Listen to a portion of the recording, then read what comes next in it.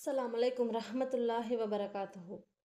எல்லாம் உள்ள அல்லாஹ் தாலாவின் நல்லடியார்களே ஒவ்வொரு மூமினுடைய நோக்கமும் என்னவாக இருக்கு என்று சொன்னால் நாளை மறுமேலே அந்த சொர்க்கத்திலே நுழைய வேண்டும்.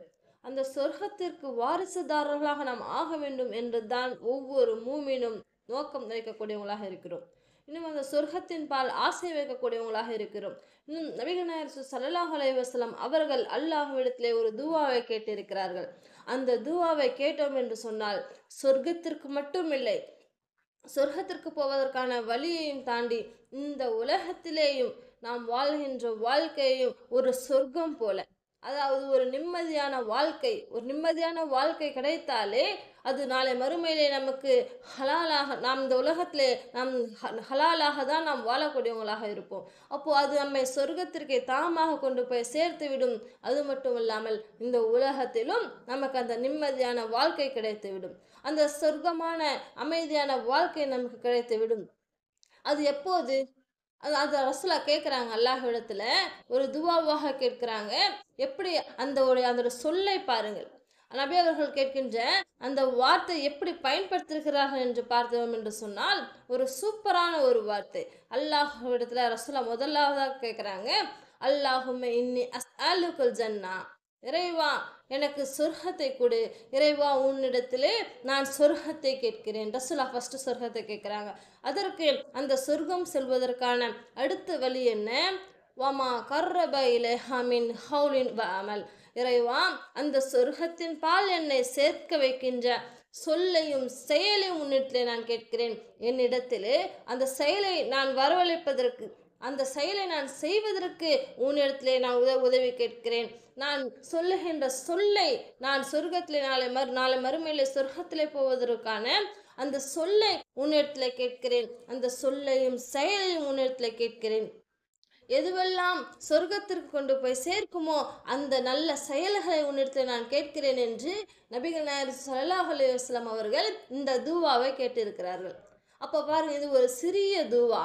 அதோடைய வார்த்தை எப்படி இருக்கு என்று பாருங்கள். அப்போ அழகான செயலை இந்த உலகத்தில் நாம் செய்தோம் என்று சொன்னால் இந்த உலகத்திலே நமக்கு நிம்மதியான வாழ்க்கை கிடைக்குமே.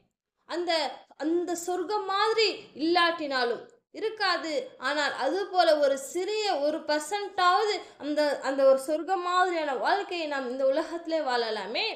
அப்போது அது மாதிரியான சொல்லை நாம் இந்த உலகத்திலே சொ- நல்ல சொல்லை சொல்ல வேண்டும். நல்ல பேச்சை பேச வேண்டும். நல்ல செயல்களை செய்ய வேண்டும்.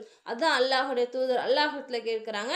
அந்த சொர்க்கத்தின் பால் செல்லக்கூடிய அந்த சொல்லையும் செயலையும் உன்னிடத்துல நான் கேட்கிறேன். அந்த சொர்க்கத்திற்கு செல்லக்கூடிய என் சொல்லையும் செயலையும் உன்னிடத்துல கேட்கிறேன் நீ அல்லாஹ் என்று அல்லாஹ்விடத்திலே பிரார்த்தனை செய்கிறாங்க அப்போ பாருங்க இந்த உலகத்தில் நாம் நான் இந்த உலகத்திலேயும் நாம் சந்தோஷமாக வாழ வேண்டும் என்று சொன்னார் இன்னும் நாளை மறுமையிலும் அந்த சொர்க்கத்திற்கு போக வேண்டும் என்று சொன்னால் நம்மிடத்திலே நல்ல சொல்லும் நல்ல செயலும் இருக்க வேண்டும் என்று இந்த துவாவிலிருந்து நமக்கு புரியுது.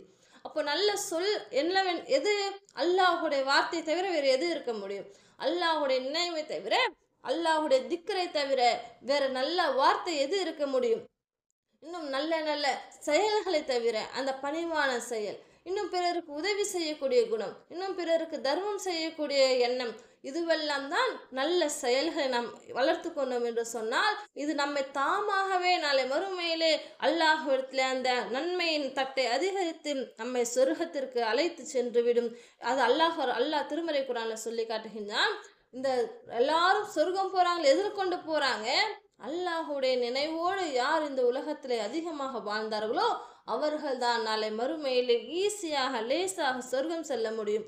அல்லாஹ் திருமறை குரான்ல அல்- அதிகம் அதிகமாக அல்லாஹை நினைவு கூறுங்கள் அல்லாஹை திக்ரு செய்யுங்கள் என்று தான் அல்லாஹ் அதிகம் சொல்லுவான். அல்லாஹ் ஒரு இடத்துல சொல்லி காட்டுகின்றான் வதுகுருல்லாஹ கசீரல் அல்லக்கும் துஃப்லிஹுன். அல்லாஹுவை அதிகம் நினையுங்கள் நீங்கள் வெற்றி அடைவீர்கள் என்று அல்லாஹ் சொல்லி காட்டுறான். அப்போ அல்லாஹோட நினைவு இருந்துச்சுன்னு சொல்லிட்டான் அல்லாஹுடைய நினைவு நம்முடைய உள்ளத்தில் இருந்துச்சுன்னு சொல்லிட்டான் இந்த உலகத்திலும் நமக்கு நல்ல வாழ்க்கை கிடைச்சிருமே. அந்த மன அமைதி கிடைச்சிருமே. ஒவ்வொரு மனிதனும் எதற்கு ஆசைப்படுறான் நிம்மதி வேண்டும்.